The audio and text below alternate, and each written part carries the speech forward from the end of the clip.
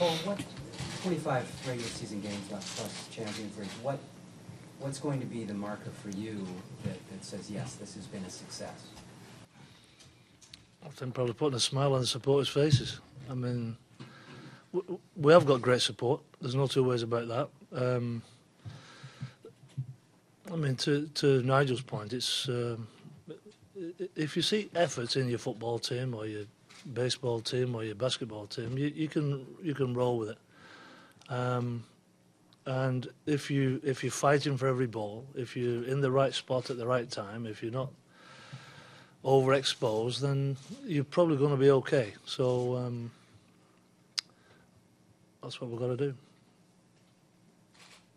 Paul, uh, on the record, uh, rumours and speculation abound at times like these. There has been a suggestion that the relationship between you and Aron uh, was perhaps partially responsible for why this team has fared so badly. Would you care to comment on that particular uh, Yeah. situation? Yeah, I would. I'm, I'm very glad that you asked me that question because um, this this rumour started uh, in in uh, the combine, and I think it's maybe a simplistic view by some some people in the media that if I'm watching a game, I don't really want to sit with Bob. I don't want to sit with Aron. I don't want to sit with with anybody. I want to make my own decision. I want to make my opinion on players because it's all about opinion always is.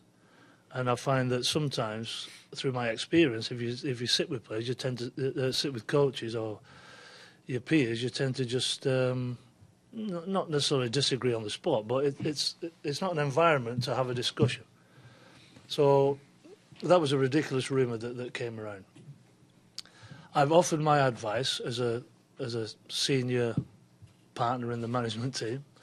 Um, Aron's the boss. Aron was the boss.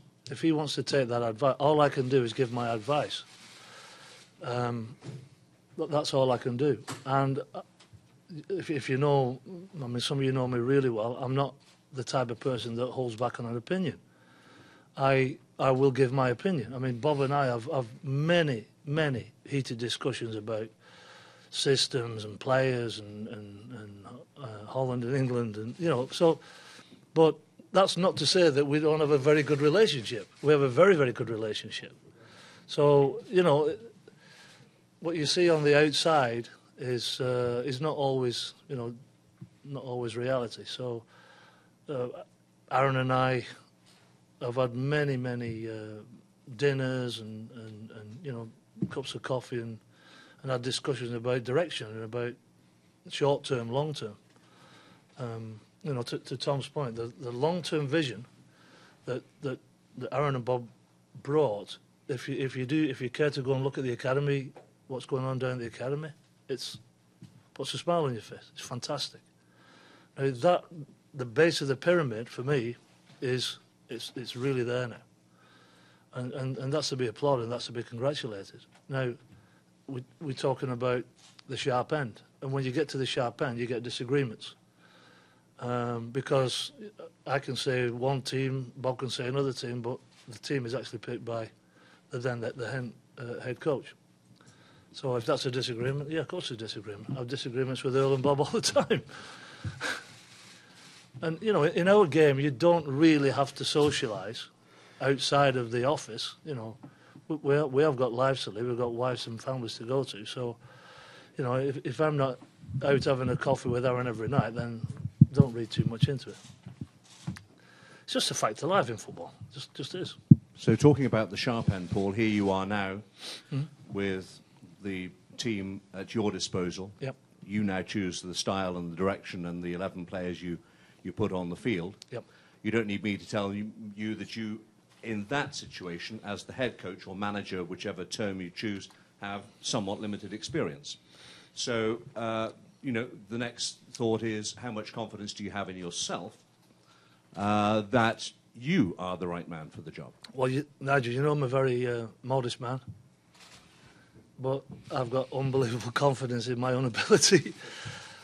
Um, I know exactly what I'm doing in training this week. I know exactly what the team's going to be next week, barring injuries. I know exactly what direction we're going in. I know how we're going to play.